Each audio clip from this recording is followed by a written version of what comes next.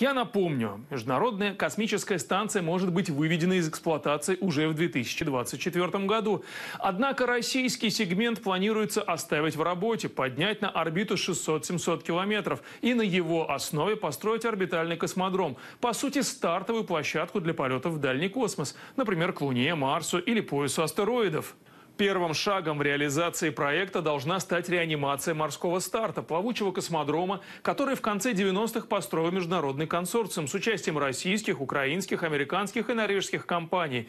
Увы, стать достаточно востребованной площадкой для коммерческих пусков морскому старту не удалось. Консорциум обанкротился, и в 2016 году космодром приобрела российская частная компания.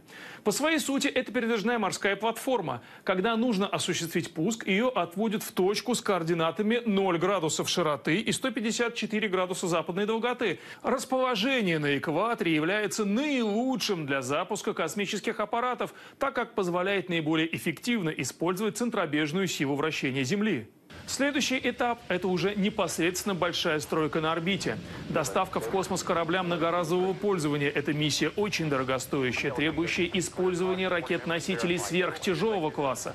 В рамках американской программы Space Shuttle или отечественного проекта «Энергия Буран» на околоземную орбиту, то есть на высоту нескольких сотен километров, доставлялись аппараты массой 100 тонн. В настоящее время сверхтяжелых ракет нет ни у нас, ни у Америки, поэтому разумный выглядит выглядит доставка на околоземную орбиту модулей космического корабля с помощью обычных ракет-носителей тяжелого класса.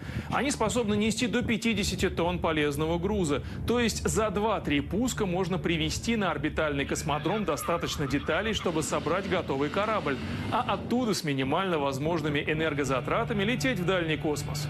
Для того, чтобы космический корабль, стартующий с поверхности планеты, мог преодолеть силу земного тяготения, он должен развить вторую космическую скорость. Это чуть больше 11 км в секунду. На это уходит огромное количество топлива. К тому же такие ускорения предъявляют особые требования конструкции корабля. А вот находящийся на околоземной орбите космодром уже движется со первой космической скоростью около 8 км в секунду. То есть собранному в космосе аппарату достаточно будет развивать скорость лишь до 3000 1200 метров в секунду, чтобы начать межпланетный полет.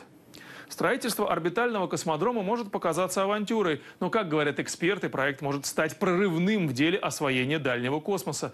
США, Европа и даже Китай вкладывают огромные деньги в космические программы. Американцы, например, недавно заявили, что в ближайшее время рассчитывают вернуться на Луну. Что же до России, то благодаря космодрому на орбите в будущем мы получим потенциальную возможность фактически монополизировать грузовые перевозки в Солнечной системе. Третий этап реализации проекта – массовое строительство вот таких аппаратов – космических буксиров. Собранные на орбите, они с небольшими затратами, разумеется, по космическим меркам, будут доставлять грузы хоть на Луну, хоть на Марс.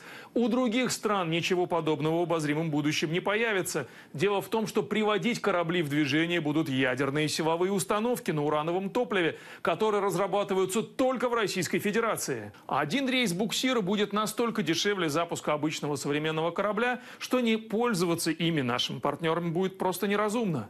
И сам орбитальный космодром со временем обрастет новыми функциями. Например, он сможет стать ремонтной верфью для кораблей и спутников, научной лабораторией и даже гостиницей для космических туристов.